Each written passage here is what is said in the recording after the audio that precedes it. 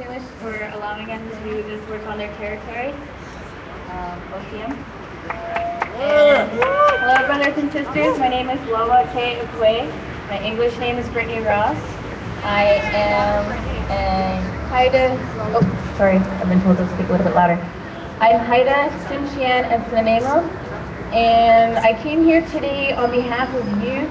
Being a young woman myself, I understand the struggles of Aboriginals today, and clearly we have a lot to discuss.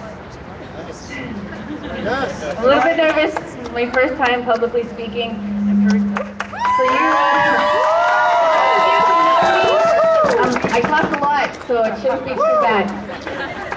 Doing good. I would just. All right, so what to talk about?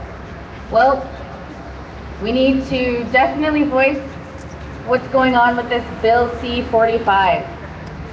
Not Bill C-35. That was uh, just a few years ago. So what does that say? We need change. And everyone needs to be a part of it, not just everyone here today. Not to say that everyone who couldn't make it today doesn't support. Um, I don't have too much to say except that um, what I've learned so far is doing things in a humble way is the way to be. We don't need to fight. We don't need the negative. Um, we've gone through that, and I know it's prevalent today.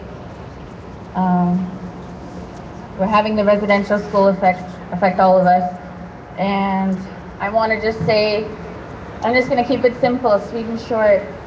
We just need to get along with one another and create a dialogue where we're not being hateful to one another.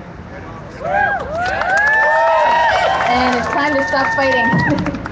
Start getting along and get down to business. Heichka.